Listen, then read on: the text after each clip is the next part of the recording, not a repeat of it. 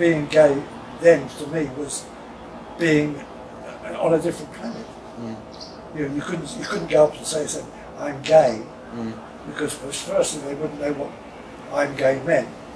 If you said I'm queer, Mm. they would either shun you or hit you. Mm. And at the time, did you know? I mean, I'm assuming you knew other gay people who No. were open. No, you didn't. No, that's the whole point. I didn't. I didn't know. I thought I was the only one in the world. When I was 16, and I knew there was something different about me, because I knew I didn't fancy girls, and I was in, in fact in love with a with a straight guy, my best friend, uh, uh, and I couldn't tell him or anybody else. So I used to make out I was like everybody else.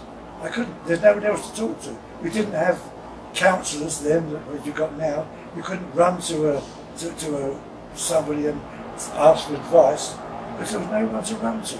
At least no one that I knew you could run to. It was just um, me in a bubble. A bubble that I was tried to get out of. Didn't want to be this person. Was frightened of being this person. Was scared of being this person. It was it was horrendous. But I had to live with it and work with it and keep it to myself. Which eventually does eat you away. You get to the stage where you, you want to scream. You know, I'm not like everybody else. Even when I joined the army, when I was what, 19, 20, joined the army. Did you already know you were gay when you joined the army? I didn't know it was called gay.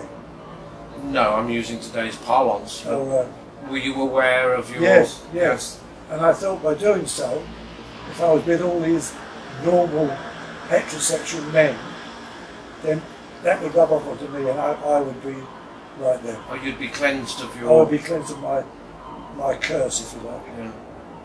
Yeah. It's a hell of a price to pay, isn't it? It was a price to pay because it didn't work. Mm.